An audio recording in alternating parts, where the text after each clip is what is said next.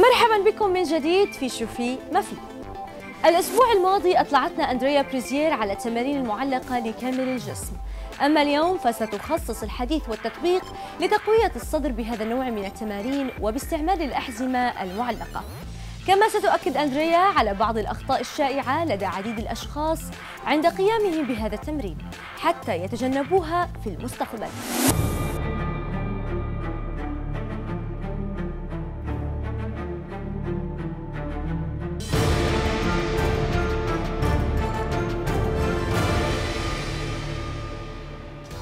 I will show you three examples how you can do your chest in the, in the suspension train.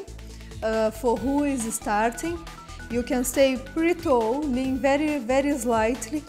Keep your hands by the side of your chest. Then you come, keep your chest open and come back. So you can start like this. Keep your elbows close to your ribs to overload your shoulders you are going to overload less your shoulders okay? So you put more work into your triceps instead. This is the beginner beginner version. You are a little more advanced. Make this strap a little longer okay? And then walk a little more backwards. So this you have more range to go down in the movement. Okay? You might feel at the beginning your arm shaking like this, so take it easy.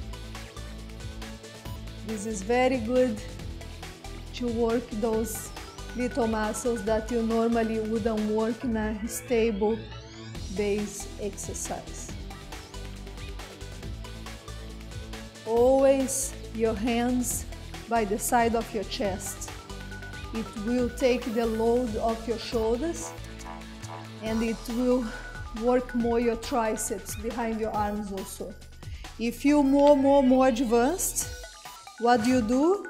Step more back and then you go more flat down for the, for the push. This is harder, okay?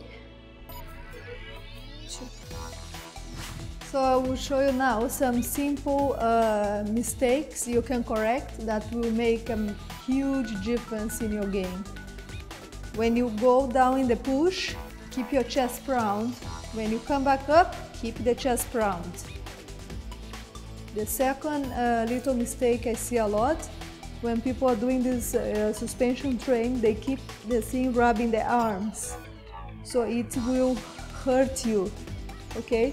So make sure when you go uh, do your chest, for example, keep your arms away from the rope.